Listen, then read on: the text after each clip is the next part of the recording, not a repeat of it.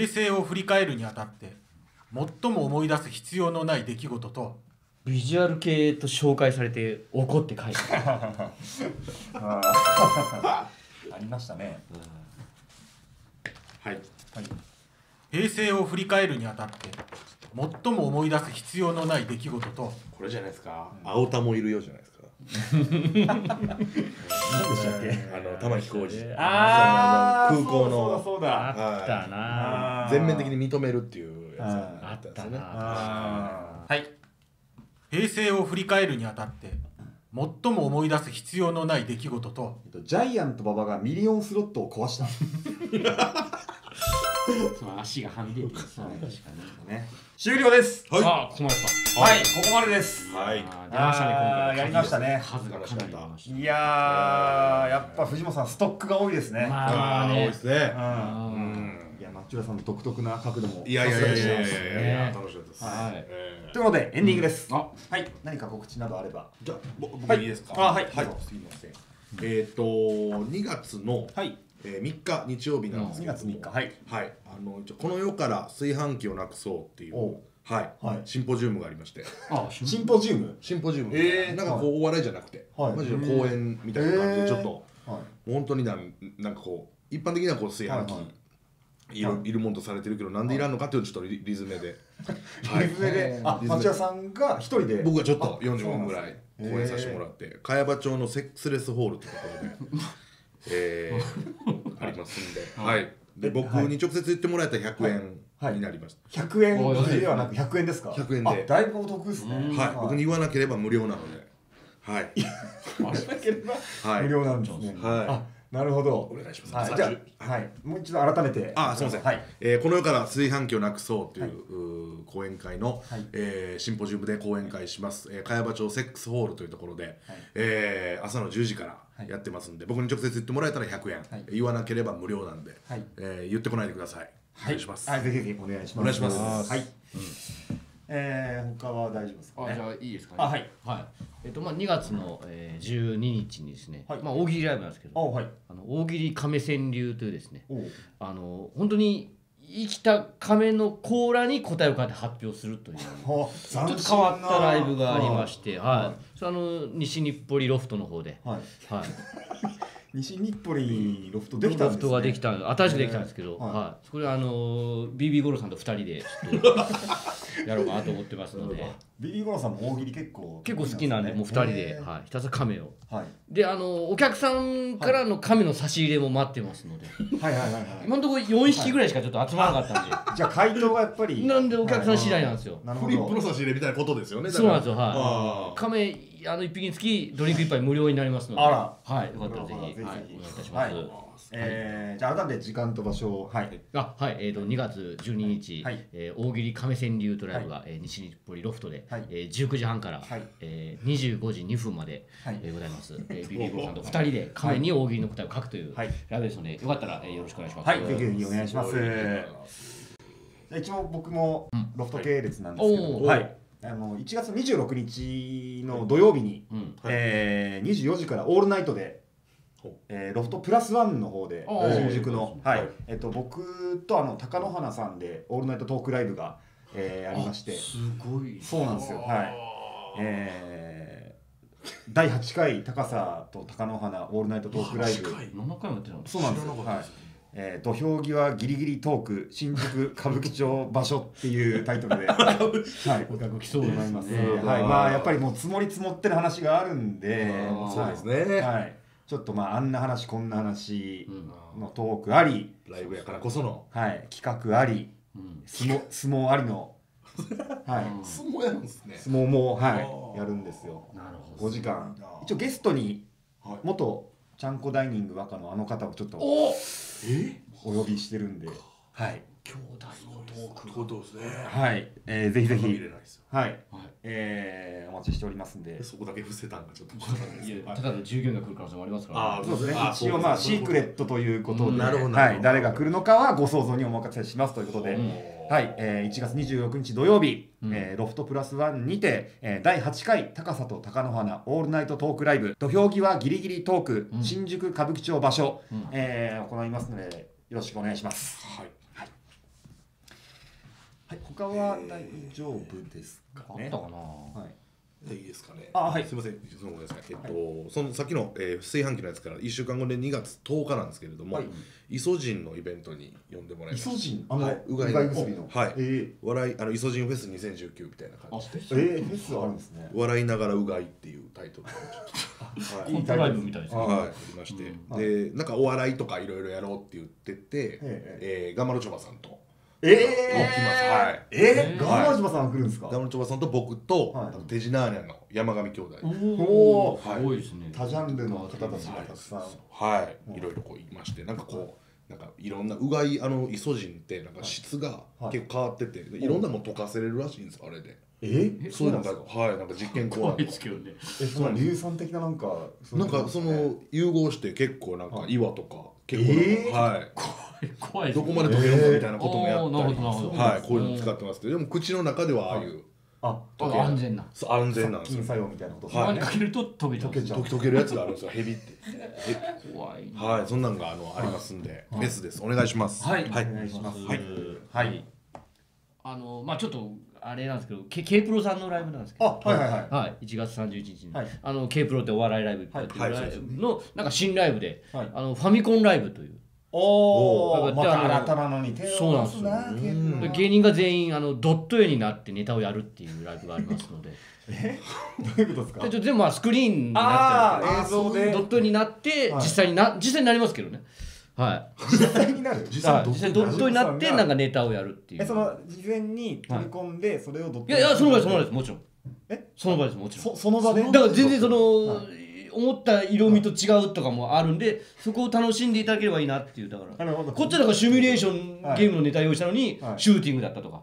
その生ならではのそのドットのハプニング。はあ。っていうのを、はい、でちょ出演者はまだ僕以外がその、はい。はい。まあそのだから1月のその29日のはい。ゲームボーイライブで勝ち上がった数ゲ組が、ゲームボーイライブもあるんですかはい。1月29日に。皆さんがこう、はい。お手元のゲームボーイで投票できるっていうあのライブなので。なるほど。じゃあ各自ゲームボーイ持参してこなくちゃいけないっていうことですか？とあの炭酸電池の2時間ぐらいで切れちゃうのでちょっとあの、はい。ケーブルがあった方がいいかなってえそんな何時間もやるんですか？あで投票はもちろんあの通信ケーブルがないとちょっとあのできないので、ややこしいなも。うなるほど。ポケモン交換するときに使っていた通信ケーブルを。う今日はお持ちいただければはい。じゃあそれも全部込み込みで買ってもらってないですね。はい。はい。で来てもらって投票して。はっていうのがい。はい。で実際のライブがファミコンががえっ、とえー1月31日ですね。はい K プロのはい。ライブでやりますので、ははい。い、よかったらお願いいたします。はい、ぜひお願いします。はい。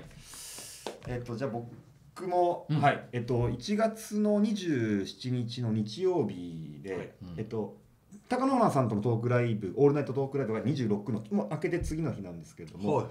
あの僕まあ、僕、北海道出身なんですけど、おついにその北海道出身ということでお仕事がまして、いいですね。はい、あのエアドゥさんから、はいですよ。いやーちょっとはい。で、はい、最初あの CM のお話だったんですけど、えうん、まあちょっとなんかまあギャラの話とかいろいろ2点3点えまあまあっあねいろいろて、はい。はなんかまあその500万でどうだみたいなまああんまり言っちゃいけないんですけど、でも事務所側がちょっと500万じゃ高さは出せないっていうことで、はそれでもいける。い、そうですね。でなんかやりたいことはないのかみたいなことではい。ちょっと僕があのエアドゥの一日基調の方をちょっとやらせていただきますので、はい、い。操縦もじゃあ実際に？操縦もはい。実際にあの していいんですね。フライトを。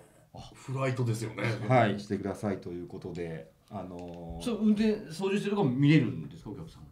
お客さんはえっとまあおいやあのコックピットの中なんでそこはちょっとさすがにうん。あでもこのアナウンスは。アナウンスはもちろんあります。ああすごい、はい、よかった乗ってくれってことですね。登場していただけれなばるほどな。はい。でまああの新千歳ホノルル間をちょっと、あのフライトさせていただきおますんで。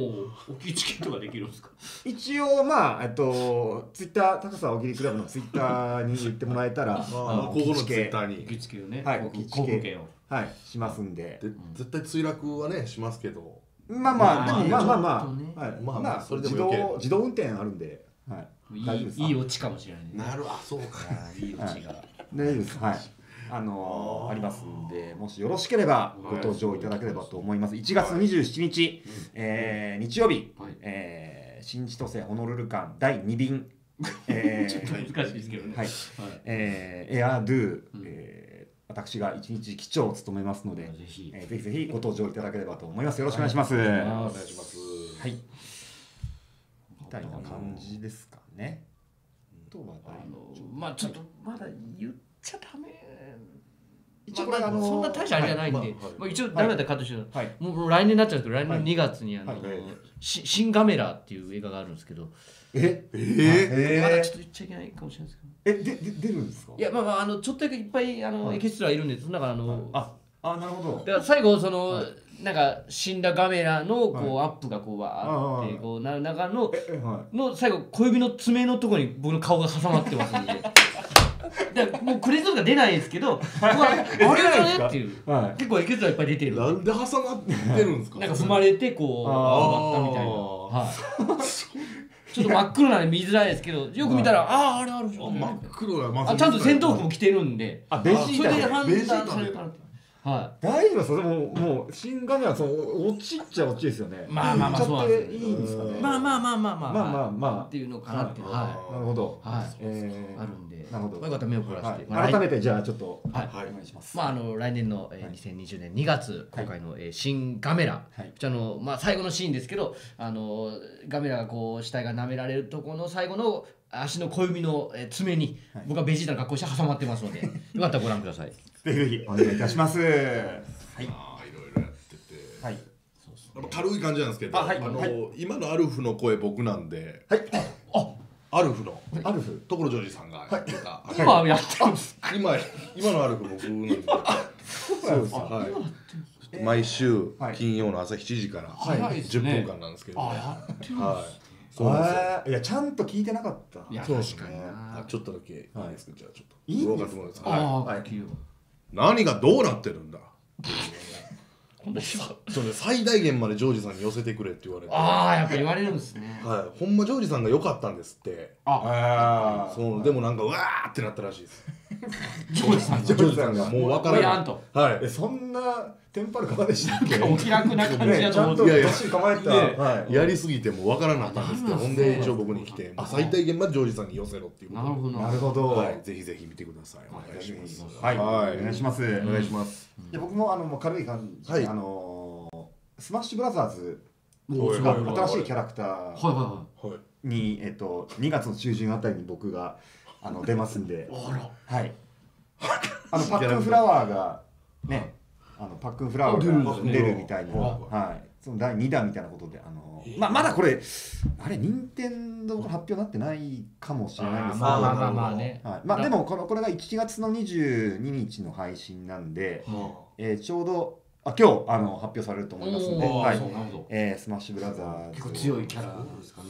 えっとキャラクター名が本当のルイージっていう、ええはい、あ、高さとかじゃないですじゃないんですよ。本当のルイージ。本はいここへ来て本当のルイジははい。そうだったんだっていう。ですね。はい本当。まあ偽物なのかは分からない。とにかく僕が本当のルイージというキャラクターで。声声も当てて。そうですね。はい。えっ、と、まあ、必殺技もお。本当のファイアボールとか、はい、ほはい。ー本当のルイージサイクロンとかいう必殺技が。あはい。あー真実の高速ロケットっていう必殺技全部その感じなんですよ本当のとかね。なんかはいそういうふうに。誰もが嘘やんなんちゃうかと思っちゃいますいやーそうっすよね。それでも分からん。僕も大丈夫なんですかって言ったんですけど、うん。大丈夫だって、はい、言うんで、あ。はい。大丈夫か？はい。まあ、ぜひぜひ。あの、えっと、だから1月31日までに、えっと、購入していただければ、えっと、あのダウンロードできますおなるほど。はあぜひぜひお願いしいたします。あーちょっとゲームであれなんですけど、はいまあまあ告知とかなんですけど、はい。あのストリートファイター2の、はい。あうん。あのーザンゲーフのステージのはい、後ろの金網で実は僕こうやってるんですよ、あそうなんですか、はい。えちょっとなんか帽子とかかぶってるんでわかんないですけど、はいはいはい。ちょっとこうやってるのの一人は実は僕なんで、えー、よかったらザンゲーフ戦う時に。いあれってギャラとか入ってくるんですか？や入んないんですよ。え？えー。無料なんですか、入んないんですよ。そりゃきついはあそうなんですかいそれカプコンの忘年会は呼んでもらったんで。それ元取るのですごい食うんで、えー。はい。そこで取り返す。そうだだベジータのでやいやもう普通普通にああ普通で。はいはいは大丈夫なんい結構若手がいっぱいでハンニャとかもいたりで。すねこの同同忘年会。同期にこのはい。でロシアステージを組んでる。あいるんですね。そうよく見たら DH 置くとかもあのいたりするので。裏に、はい。結構芸人さん出てるんですそうなんです結構使いエキストラであの若手の頃行かせてもらいましたんで。はい、はい。じゃあぜひぜひザンギエルのステージ、はい。ご覧ください、はい。はい。お願いいたします。はい。はい。話題まあまあこんな感じですかね。そうですかね。はい。はい、よはいければ。はい、はい。えー、タカさん大喜利クラブのツイッターアカウント、はい。えーこちらに出ますんで、うん。えーこちらで、えー大喜利の答え今日やった、えー、何の問題でしたっけ？ね、なん。か平成のやつでしょ。あそう平成今日平成縛りでやりましたから、はい。えー平成のお題の。だってもう一人200ぐらい出してましたよね。結構いきましたね。しましたうん。はい、スケッチブック78冊使いましたか言ってたと思うんで。はい、はなので、えーそちらでアップしていければと思いますのでフォローの方よろしくお願いいたします。ははいい、ということで、うん。以上高さ大喜利クラブでした。終わり。ありがとうございました